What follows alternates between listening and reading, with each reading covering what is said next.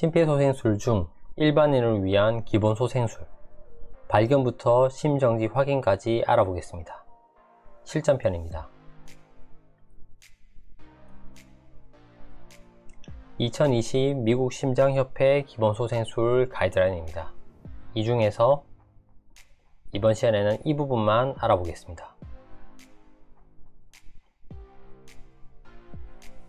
제일 먼저 해야 할 것은 현장 안전 확인입니다. 현장 안전 확인하겠습니다. 현장 안전합니다. 반응 또는 의식 확인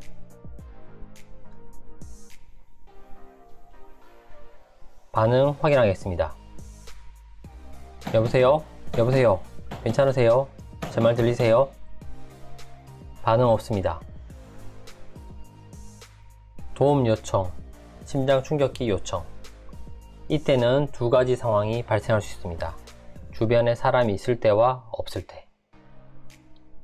주변에 사람이 있다면 파란색 옷 입으신 분 119 신고해 주세요. 모자 쓰신 분 심장 충격기 가져와 주세요.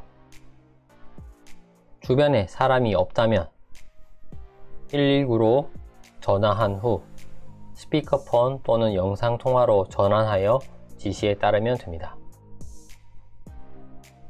호흡 확인 이때 두 가지 상황이 발생할 수 있습니다. 경추 손상이 있을 때와 없을 때 경추 손상 가능성이 있다면 옷만 벗기고 호흡 확인하겠습니다. 하나, 둘, 셋, 넷, 다섯, 여섯, 일곱.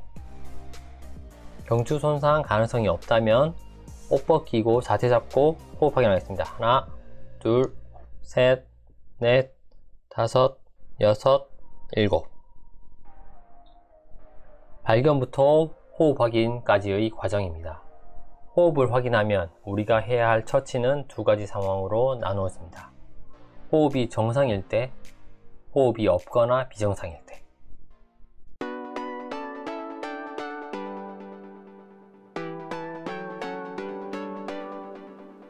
감사합니다. 천의 마신이었습니다.